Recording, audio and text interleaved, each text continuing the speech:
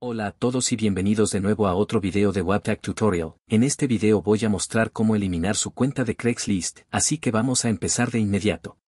En primer lugar solo tienes que abrir tu navegador web y, a continuación, en la barra de direcciones escribe Craigslist.org y pulsa Enter.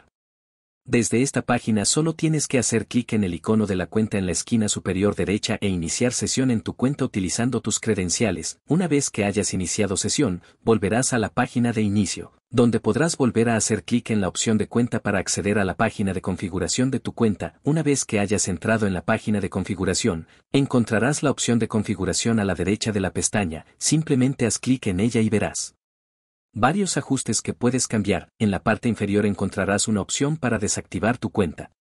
Haz clic en el botón de desactivar cuenta y se te pedirá que confirmes si quieres desactivar tu cuenta. Confirme su elección y se le preguntará una última vez si está seguro de que desea desactivar su cuenta.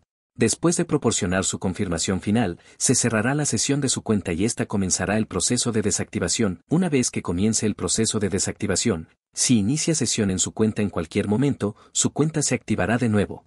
Así que asegúrate de que no entras en tu cuenta durante aproximadamente un mes y luego tu cuenta de Craigslist será eliminada permanentemente, y ahí lo tienes, así de fácil es eliminar tu cuenta de Craigslist.